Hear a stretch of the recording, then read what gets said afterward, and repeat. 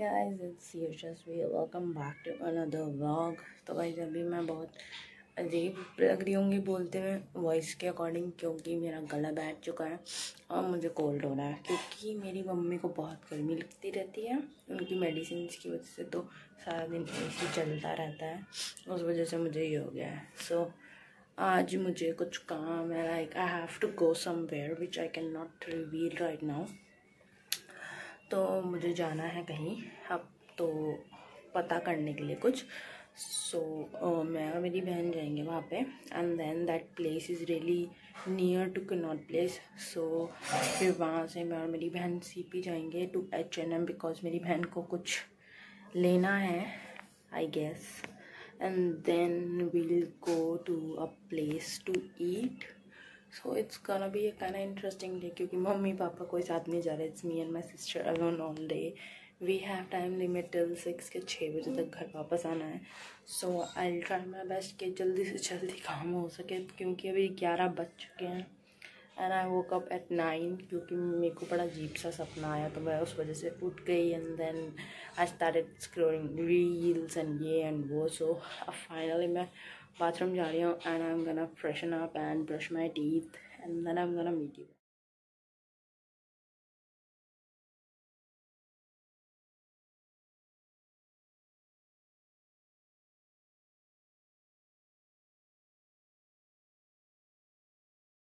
Guys now i am in my kitchen and because i'm on diet so i earlier in the starting days, i was i was on really really strict diet. मतलब ये मान मतलब मेरी strict diet ये थी कि मैं even मैंने चाय कॉफ़ी दूध दूध मतलब चीनी एंड फ्लेवरिंग वाला ये सब छोड़ दिया था, नमक और ऑयल चीनी सब हटा दिया था अपनी डाइट से which was really difficult but अभी क्योंकि मैं अपना वेट करवा चुकी हूँ and I have gone down to sixty five so मुझे भी और डाउन जाना, मुझे एटलीस्ट सिक्सटी या फिफ्टी फाइव तक जाना है so that means my diet still continuing but मैं अपना ब्रेकफास्ट हैवी रखती हूँ।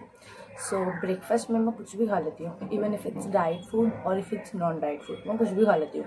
Depends on my mood then lunch and dinner are my compulsory and mandatory diet food तो अभी क्योंकि मॉर्निंग है तो मैं पहले अपना एक गिलास गर्म पानी पीती हूँ।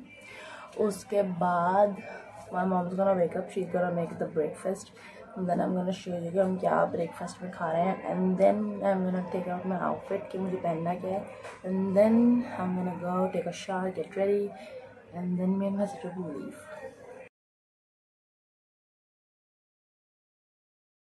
मैं आ चुकी हूँ रेडी मैंने बनाई है वाइट टॉप इसके लिए मैंने बनी ब्लू जीन्स और मेरी शूज़ एंड ये आउटफिट मेरी मेरी बेस्ट फ्रेंड ने सिलेक्ट करवाया so thanks babe and then मेरी बहन भी रेडी है. She is just getting her shoes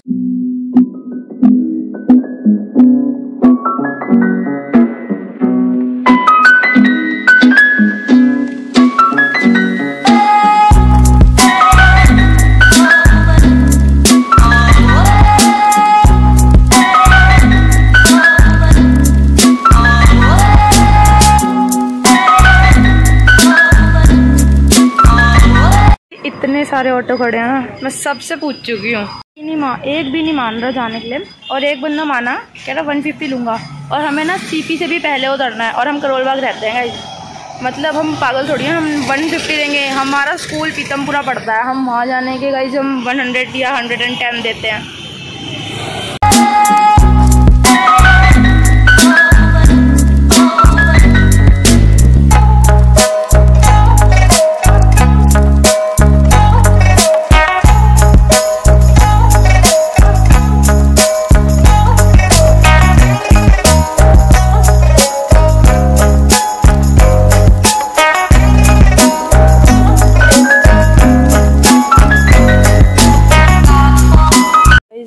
जो मेरा काम था, वो मैंने कर लिया है।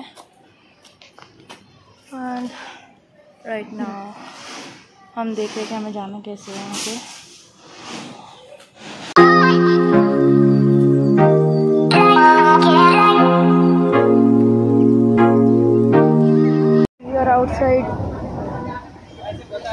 ज़ीरो डिग्रीज ज़ीरो डिग्रीज है ना, हम वेट कर रहे हैं क्योंकि हमारी पाँच दस मिनट की वेटिंग है।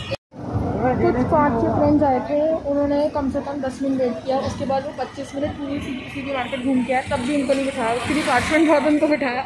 बहुत यहाँ पे रश है। यहाँ पे का खाने का तो पता नहीं कैसा है उसका रिव्यू बाद में देंगे बट इसका बता सकती हूँ कि वेटिंग बहुत है क्योंकि बहुत छोटा है अंदर से।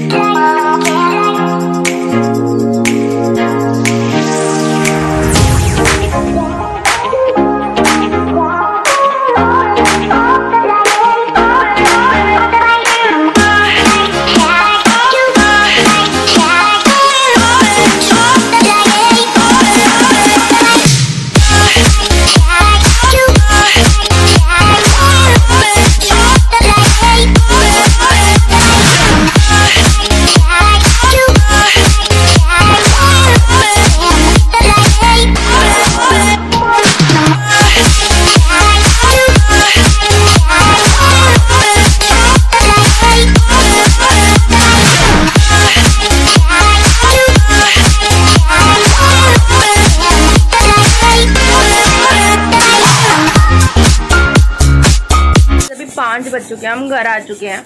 अभी मतलब सारा काम नहीं हुआ, मुझे मेरी बहन को आधार कार्ड का कुछ अपडेशन का काम कराना था बट हम वहाँ नहीं गए, हम सीधा घर आ गए, क्योंकि पहले तो पाँच बज चुके लेट हो गया था एंड सेकेंड चीज़ की, मेरी मम्मी जो कुछ ज़्यादा ही रिस्पॉन्सिबल है, जो हमारी पूरे ख़ानदान में सबसे responsible woman the only person who is responsible the only person who is known for her you know अपनी रिस्पॉन्सिबिलिटी के लिए केयरफुलनेस के लिए मम्मी ज़्यादा ही फ़ेमस है।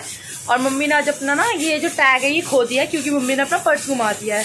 और इस पर्स घुमाने के चक्कर में, मैंने और मेरी बहन ने अपना आधार कार्ड काम छोड़ किसी का घर आने का सोचा। मम्मी अभी वॉशरूम में जब वो आएँगे ना तो उनसे बात करेंगे।